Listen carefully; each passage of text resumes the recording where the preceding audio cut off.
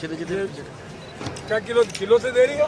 दस रुपए गड्डी बेच रही हूँ वहाँ बीस बेचती हूँ दस बेच रही ये नुकसान हो ये बताओ आपको आपको क्या भाव आ रही है? हैं? आपको क्या भाव? हूँ दस ही लाख दस में बेच। रही तो है तो रोजी रोटी मतलब खाना खाए से खाएगी तू? तो खर्चा कर लूँगी थोड़ा सा।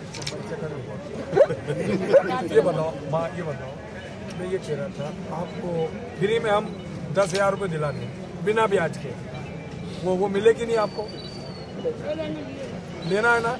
तो मैं भरूँगी से? धंधा तो चले मेरा। हाँ तो धंधा इसलिए चलेगा। तभी तो भरूँगी ना। हाँ तो ये लोन कराओ। और सुनो। तो इसमें ये बना दी फॉर्म क्यों भरवाओ। भरवाओ और भर लो। अच्छा ये बताओ। बेटा है अपना? बेटी है? मेरे दो बच्चे हैं। क्या- शादी दी मैंने। हाँ, तो- लिखे उनकी नौकरी नहीं है। नौकरी नहीं है। उनको बोलो कि आए उनको उनके नाम से लोन हाँ, उनके नाम से लोन करा दे ठीक है? तो वो भरेंगे कहाँ से नौकरी नहीं है? तो नौकरी नहीं धंधा करेंगे ना। धंधा में से धंधे में तो तो अरे तुम आज मूली की अपेक्षा टमाटर भी लाएँगे। चलो सुनो टमाटर भी लाएँगे आलू भी लाएँगे मेथी भी लाएँगे लौकी भी लाएँगे तो गिलकी भी लाएँगे। ठीक है ना? चलो। तुम्हारी